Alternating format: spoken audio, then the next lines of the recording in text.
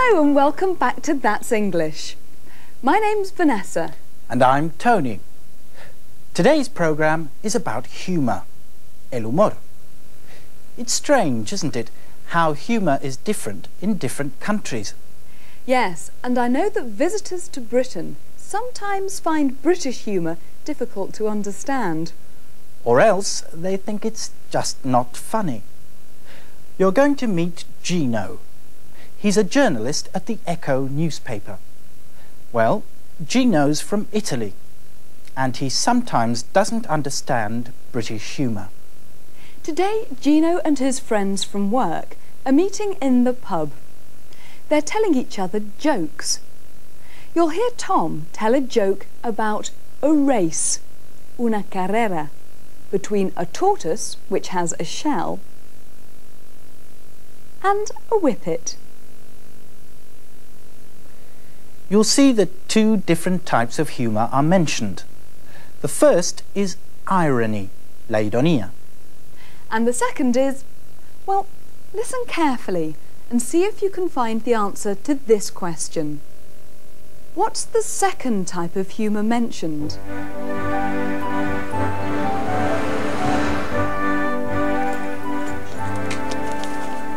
Tom, look, I'm sorry.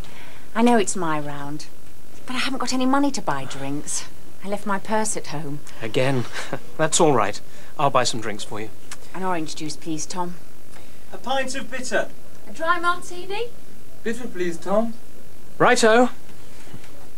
Hey, Gino, did you read my article yesterday? No, I'm sorry, Clive, I didn't.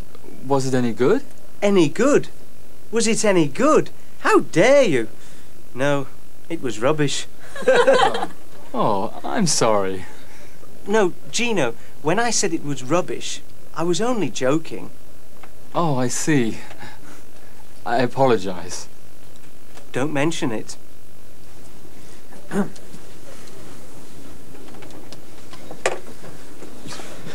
Look, sorry everybody, but I have a confession to make. Sometimes I find your British humor very difficult. I don't understand why you're laughing. You're always saying one thing when you mean something else, aren't you? Clive says his article was rubbish, but he means it was great. I don't understand. Irony, Gino. Yes, the British love irony, don't they? Hmm. But the Italians don't understand irony, do they? Of course we do. But I think you British use irony far too much. And it isn't always funny. Well, not to me. I'm sorry that I haven't laughed at your jokes. I'm sure they're very funny, if you are British. You'll laugh at this joke, Gino. A man goes into a pub with his dog. It's a racing dog, a, a whippet. In the corner of this pub is an old man.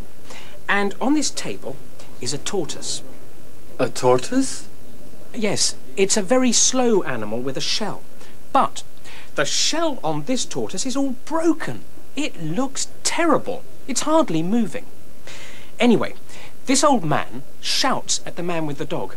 Here, I'll bet my tortoise can beat your dog in a race. Well, the man with the dog laughs, but the man with the tortoise shouts again. Here, I'll bet you a hundred pounds my tortoise can beat your dog in a race. Well, the man with the dog thinks, that's easy money. OK, old man. And they go out into the car park. The old man puts the tortoise down on the ground. He stands up and he says, You see that street light over there?